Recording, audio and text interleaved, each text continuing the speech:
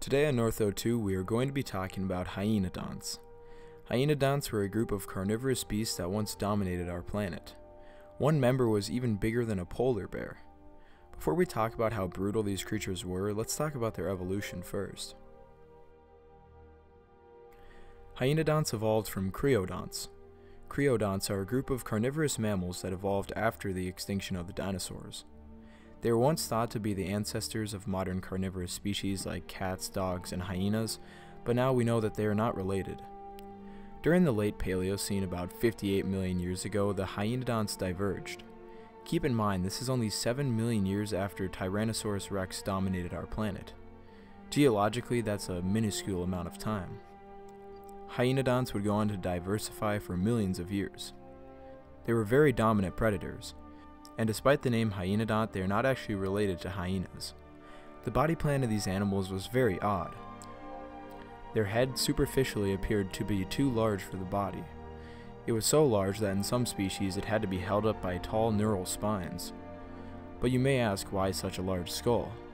The answer is, of course, to kill prey with ease. They did not have forelimbs like modern day pursuit predators, so instead of grappling with their prey, they would just bite them. The skull itself had muscle attachment points for very large muscles. Their jaws were so powerful that they could crush skulls.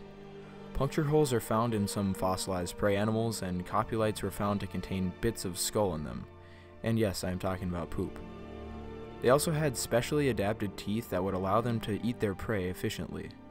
These teeth would rub against each other to produce a sharp cutting edge, and this feature would allow them to live longer than other carnivorous animals.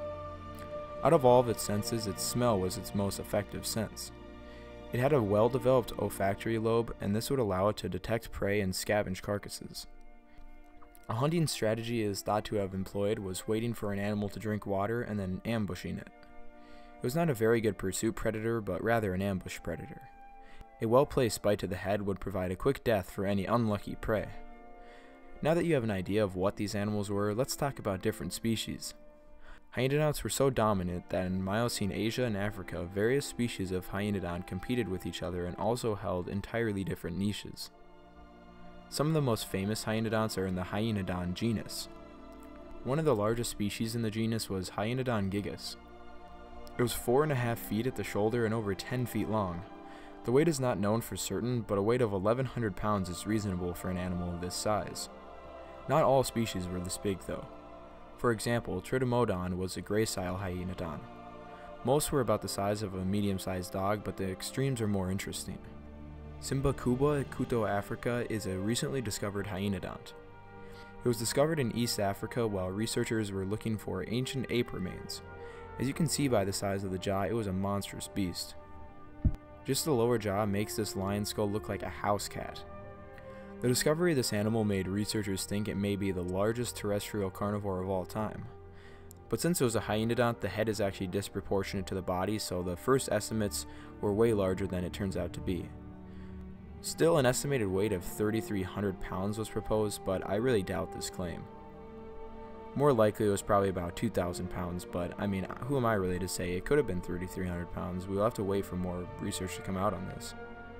Since it was so big, it was able to kill very large prey. Even animals the size of small elephants were not safe from this beast. There are countless other species of hyaenodonts.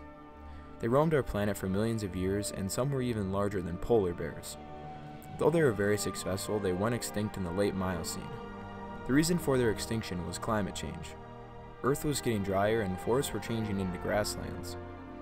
This caused many ambush predators like hyaenodonts to go extinct, the group as a whole was replaced by smarter and more advanced groups. Thanks for watching, and I hope you enjoyed this look into the brutish beasts of our prehistory.